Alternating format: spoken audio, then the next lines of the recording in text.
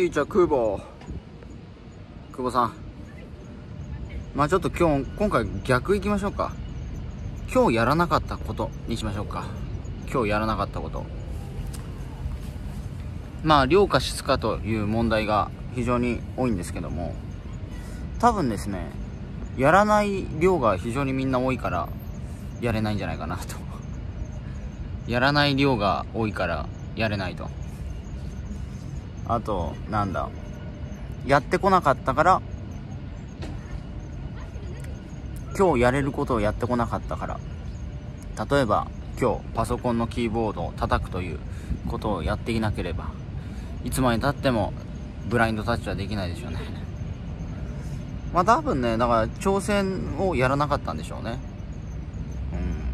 うん。まあここで一つの事実を言わせていただくとやらずして未来は変えられるのかと。やらずして人生を変えられるのか。そこを問えばいいと思います。だからなんで僕がそのやれるのかっていうとその事実をしっかり受け止め受け入れてるわけですよ。やらなければ何も始まらないという事実しかないので。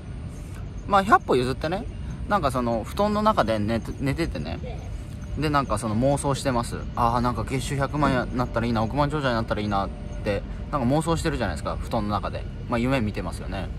で朝起きたらなんか枕元に1億円積まれてるとかありえます？いやそれがもしなんかあの確率的に1%でもあるんだったらまあ別にいいと思うんですよ。だって1%あるわけですから可能性はあるわけですよね。でもその可能性ってあるでしょうか？妄想してて1億円億万長者だみたいなね布団の中にくるまってなんかそのイメージしてるわけですよ。イメージトレーニング。ね。イメージトレーニング。俺は億万長者になれるみたいなイメージトレーニングするわけですよ。で朝起きたらなんか枕元にね1億円積まれてるみたいなね。まあ申し訳ないですけどサンタクロースはいないんで。申し訳ないけどサンタクロースいないんですよ。サンタクロースは自分なんですよ。サンタクロースは自分です。自分がサンタさんにならんとね。だから今日やらなかったら明日もやあ今日やらなかったら昨日今日やらなければ明日は昨日やらなかったという事実が積み上がっていくっていうね。申しますね。今日やらなければ明日になって昨日やらなかったという事実がどんどん積み上がっていく。ということですねなんでうーんまあそのなんだろうな。やっぱ1分でもいいんですよ。30秒でも。なんかやれることなんか30秒できないの？みたいな。もはや30秒もなんか新しいことやれないんだったら10秒でいいですよ。5秒でいいですよ。それでもやれないんだったら僕無諦めた方がいいと思いますしそもそも5秒もやらないんだったらそれはやる気ないしかないですよね。人生を変えるやる気がないですよね。うん。だってその久保さんも言ってましたけどツイート120文字まあ120文字書かなくても例えば今日のね名言とかね今日のイチローさんの名言シェアしますとかでもいいじゃないですか。もうコピペしてねいいなと思ったのシェアすればいいじゃないですか。それはなんだ3分ぐらいあればできるんじゃないですか。どうすかね久保さん。そうそこでもしもっと余力があるんだったらねじゃあこの名言に対して僕の僕はこういう経験をしてきてあのこういう状態の時にこの言葉を聞いて元気出してますとか自分のなんかエッセンスをそこにちょっと入れればいいじゃないですか。うん。もう余力があるんだったらね。余力がなくてもコピペでいけますから。それもやらないんだったらまあ何も生まれないですよね。何も始まらないですよね。でこんなこと言うとそれをやって何の意味があるんですかと。いうあの意見が来るわけですよ。いやそんなことやって稼げるんですかと。コピペして稼げるんですかと。はっきり言いましょう。えコピペもしコピペもしないコピペもやらない人が稼げないよっていう。だからコピペをしたコピペをしてねそれをやったから稼げるというわけということを言ってるわけじゃなくてそれすらしないんだったら稼げないよってことです。そうでしょね。うん。だから要はできることもやらないんだったらそれは稼げるわけないよねっていう、まあ、これが事実じゃないですか。だけどその事実をどう思ってるのかよくわかんないですよね。だから結局なんかやらない理由をみんな言うんですよ。やらない理由を言って何したいのっていつも思うんですよね。いややらない理由を言うんだったらね。やらない理由を言うんだったらやらなきゃいいじゃないですか。だってやらない理由を言うのも時間かかってるわけだから。やらないんだったらもうやらなきゃいいじゃないですか。ななどっち？みたいないやすげえシンプルですよね。別にやらない理由言わなくていいじゃないですか。やらなければ。うん。わざわざね。だってめんどくさいでしょ？久保さんに。やらない理由言うの。えそうじゃないですか久保さん。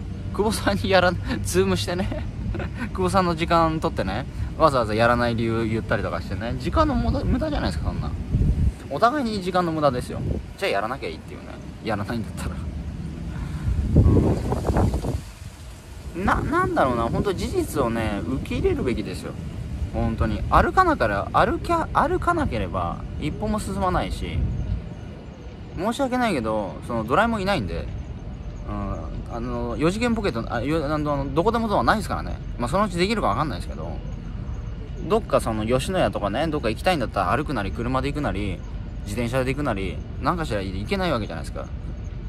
4次元ポあなんだどこでもドアないですよ。いやどこでもドア探したいんだったら探してもらってもいいんだけどもどこでもドアはない。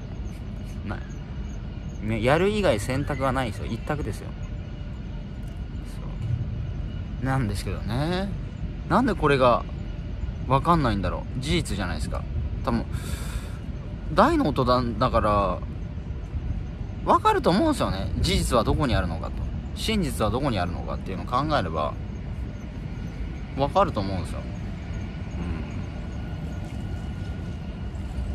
うん、でそれが何だろうなやってまあ億万長者合宿でもね昔ね億万長者合宿に参加したら億万長者になれるんですか？みたいなね話がありましたけどもじゃあ起業したら上場企業作れるんですか？と。起業したらイーロン・マスクみたいに成功できるんですか？と。起業したらソフトバンクみたいに5兆円の会社作れるんですか？知らねえよ。と。知らねえよ。と知らねえよと。お前がどうしたいんだって話じゃないですか、うん、そそそれと一緒でしょこれ。いや久保さん起業したらソフトバンクの孫正義さんみたいになれるんですか？知りません。みたいな分かりません。それでもあなたは起業するんですか？しないんですか？といや孫さんみたいに成功できないんだったらしません。じゃあしなきゃいいじゃないですか。じゃあじゃあ従業員で雇われればいいじゃないですか。じゃあ従業員で雇われればいいじゃないですか。どっちよ？